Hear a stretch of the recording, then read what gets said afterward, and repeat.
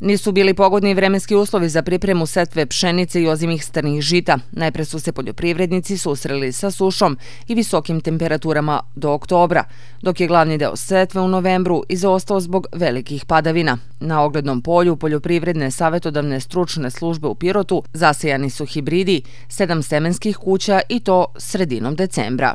Mi smo na našem oglednom polju završili uh, setvu ozimih crnih žita, ogleda, tek 12. decembra.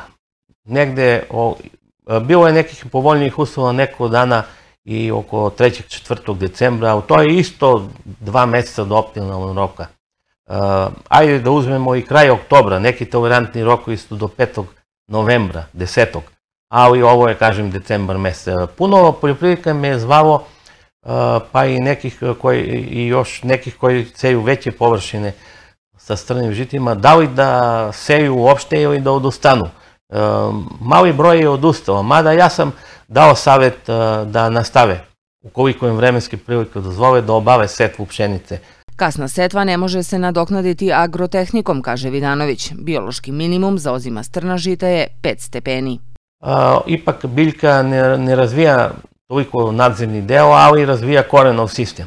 Mada tu ne može da se nadoknadi ako, kao ovi usevi koji su, ima mali broj useva gde imamo da su u trećem listu ozimi ječmovi ili poneka e, pšenica, da malo, mali deo površina, ali tu je već u treći list početak bokorenja gde znači, oni već spremni ulazu u zimu.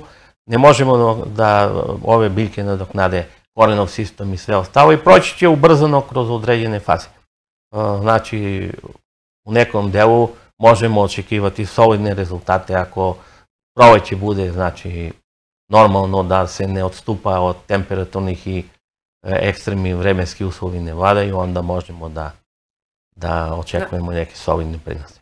Izostalo je i jesenje oranje, a padalo je oko 350 litara kiše tokom vegetacije. Pirotski poljoprivrednici na republičkom su proseku sa zasejanim površinama od oko 3,5 hektara, ali, kaže Vidanović, ima i mlađih sa veoma dobrom mehanizacijom koji obrađuju od 30 do 50 hektara.